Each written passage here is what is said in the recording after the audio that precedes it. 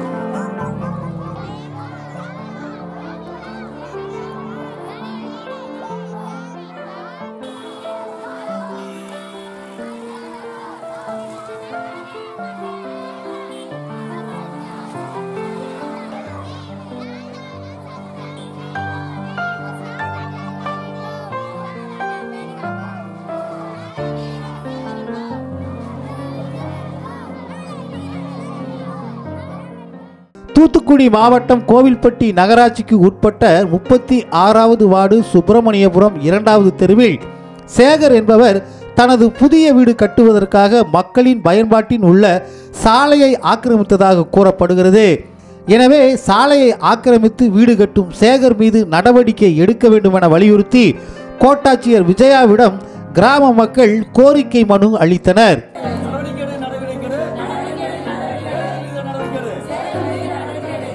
கோட்டை மறித்து கழிப்புடன் கட்டியா சேகர் மீது நடவடிக்கை எடு. சேகர் மீது நடவடிக்கை எடு. கோட்டை விரித்து கழிப்புடன் கட்டியா சேகர் மீது நடவடிக்கை எடு.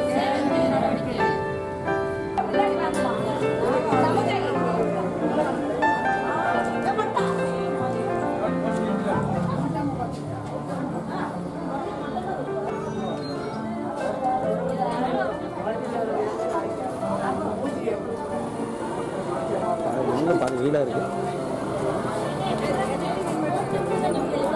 அப்படியே போங்க. இன்னைக்கு தான் வந்துட்டு கன்னியாகுமரி மாவட்டம் நாகர்கோவிலில் இந்திய இயற்கை மருத்துவ அமைப்பின் ஆலோசனை கூட்டம் நடைபெற்றது.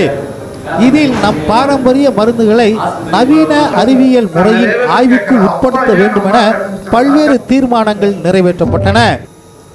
பாரம்பரிய மருத்துவர்கள் இந்தியாவின் மிக முக்கியமான சமூக சேவை சுகாதாரத்துறை சேவைகளை பூர்த்தி செய்து வருகிறார்கள்.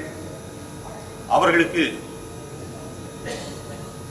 விரைவில் இந்திய அளவில் அனைத்து மாநிலங்களிலும் அவர்களுக்கு உரிய அங்கீகாரத்தை வழங்கி பதிவு வழங்கி அவர்களுக்கான வாழ்வாதாரத்தை தொழில் உரிமைகளை ஏற்பாடு செய்து தர வேண்டும் என்றும் இந்த மாநாட்டு சார்பில் கேட்டுக்கொள்கிறோம். அது மட்டுமின்றி ஆயுஷ் மருத்துவங்களுக்கு அப்பால் எண்ணற்ற மாற்றுமுறை மருத்துவங்கள் ஆல்டர்னேட்டிவ் மெடிசின்ஸ் காம்ப்ளிமெண்டரி மெடிசின்ஸ் என்று சொல்லக்கூடிய மாற்றுமுறை மருத்துவங்கள் இந்தியாவில் பொதுமக்களால் பெரிய அளவில் வரவேற்கப்பட்டு பயன்படுத்தப்பட்டு வருகின்றன. அந்த மருத்துவங்களை ஒழுங்குபடுத்துவதற்கும் நெறிப்படுத்துவதற்கும் மத்திய மாநில அரசுகள் உரிய சட்ட வழிவகைகளை மேற்கொள்ள வேண்டும். ஒவ்வொரு மாநில அளவிலும் தனி கவுன்சில்கள் தனி இயக்குநரகம் போன்ற அமைப்புகளை ஏற்படுத்தி மாற்று மருத்துவர்கள் வளர்ச்சிக்கும் மாற்று மருத்துவங்களின் வளர்ச்சிக்கும் உரிய முறையிலே ஏற்பாடுகள் செய்ய வேண்டும் என்று எங்கள் மாநாட்டின் சார்பாக மத்திய மாநில அரசுகளை கேட்டுக்கொள்கிறோம். நாகர்கோவில் அருகே பெருவிளை பகுதியில் உள்ள செல்போன் டவரில் இருந்து காப்பர் கம்புகளை திருடிய ஆரல்வாய் மொழி பகுதியைச் சேர்ந்த சிவன்பிள்ளை என்பவரை பொதுமக்கள் பிடித்து காவல்துறையிடம் ஒப்படைத்தனர்.